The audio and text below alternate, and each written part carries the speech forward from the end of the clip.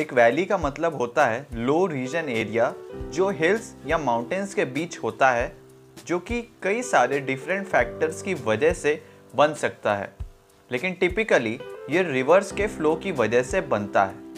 Valleys को del भी कहा जाता है, जिसका मतलब होता है ऐसा डिप्रेशन रीजन जो अपनी विड से ज़्यादा लेंथ में हो, यानी लंबा हो।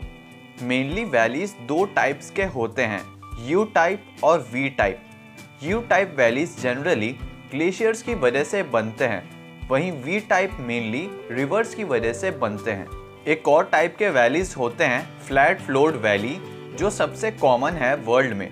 ये भी वी शेप वैलीज की तरह स्ट्रीम से बनते हैं, लेकिन विथ टाइम फ्लैट हो जाते हैं और वाइड हो जाते हैं।